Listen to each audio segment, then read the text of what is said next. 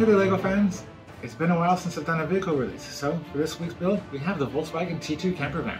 Kit number 10279, 2,207 pieces. And this is a Volkswagen certified kit, so I'm managing the details within will be pretty spot on. As this is a camper van, we have the pop-top roof, additional sleeping quarters within, a little cook station, and of course the engine compartment. And I'm looking forward to getting a closer look at all of that. So let's open up the box, have a look what's inside, and get this build underway.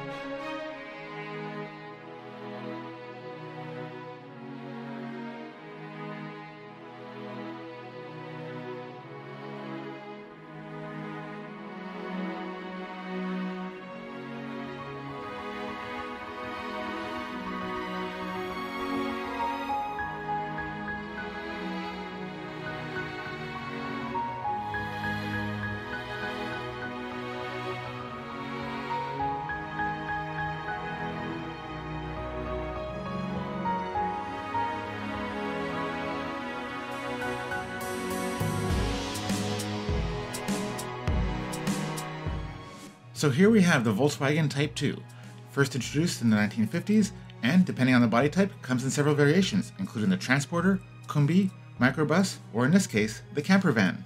With over 70 years since its inception, and production continuing today with a soon-to-be released electric version, the fan following of this iconic vehicle is virtually unmatched. This particular variant comes from the 1960s and be right at home on the California coast.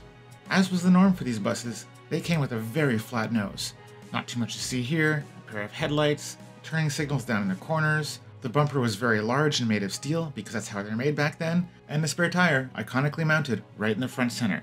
And on this bus, it's not purely decorative because it's also linked to the steering mechanism, so as you turn it, both the wheels and the steering wheel will go left to right.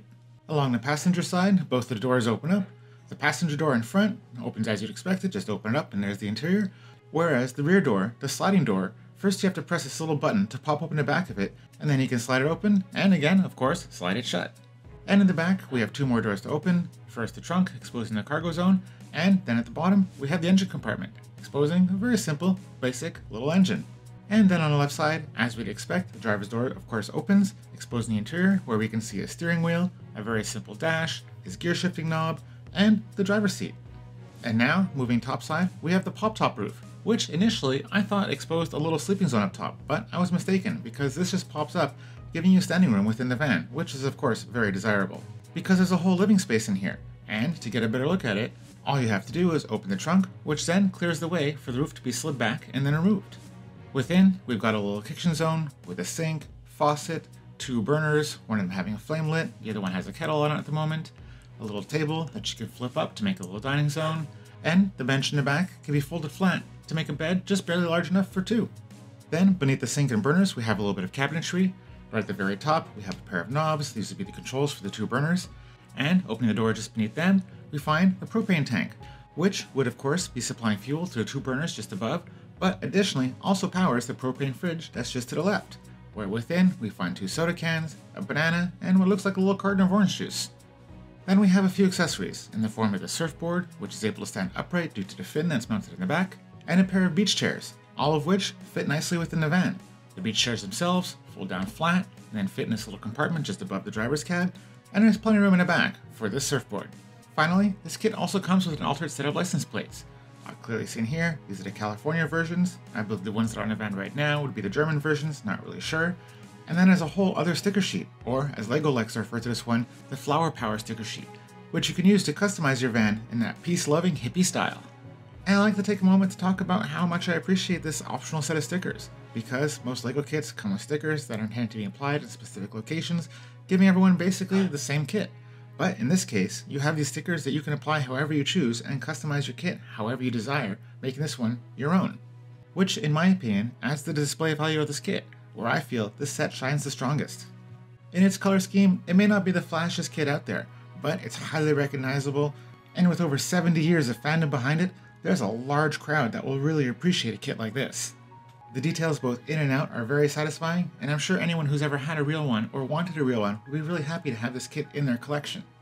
As a playset, this kit actually kinda sucks. I know you can drive it around, you do have that steering mechanism in the front, but honestly, it's not very well located for playtime, so it's a little bit cumbersome. And not being to minifigure scale, I don't find there's all that much play appeal. And as to the parts that you might be tempted to reuse in a future build, there's a lot of turquoise in this build, so if you're looking for that color, that'd be pretty great. There's also a nice assortment of large windows.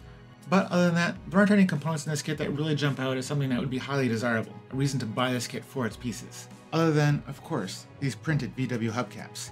They're pretty great. So I would say this kit is best suited for the AFOLs out there.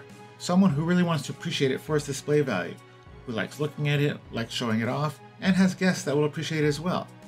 If on top of that you've got a car collection going, this will of course fit in very nicely, especially if you also have the same colored Volkswagen Beetle and the previous version of the camper van, all together, coming together to what I feel to make a really awesome display, reinforcing what I said earlier, where I feel this van is best suited for someone who wants to display it.